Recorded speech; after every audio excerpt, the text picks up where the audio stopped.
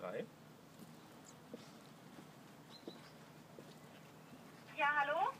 Ja, guten Tag, hier spricht Oliver Hösinker von Foodwatch. Wir sind hier, um den goldenen Windbeutel zu überreichen und insbesondere um zu erfahren, was jetzt aus der versuchten Einflussnahme der Landesregierung auf den BWK-Aufsichtsrat geworden ist, inwiefern Herr Kretschmann oder das Staatsministerium Baden-Württemberg sich jetzt dafür einsetzt, dass Alete nur noch babygerechte Produkte vermarktet. Schließlich ist das Land mittelbarer Teilhaber an Alete seit Anfang dieses Jahres und wir würden gerne, wenn möglich, ähm, mit jemandem sprechen von Ihrem Hause.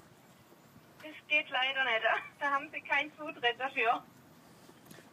Das heißt, es steht äh, niemand zur Verfügung, um. Ähm, ich kann Ihnen da gar nicht weiterhelfen. Also das geht nicht. Also da hat gar niemand Zutritt hier auch. Okay, vielen Dank. Ja, tschüss. Tschüss.